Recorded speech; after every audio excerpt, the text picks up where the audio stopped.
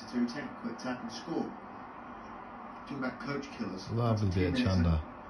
Butchery. I tell you what, you're doing well to give a penalty away in a line out.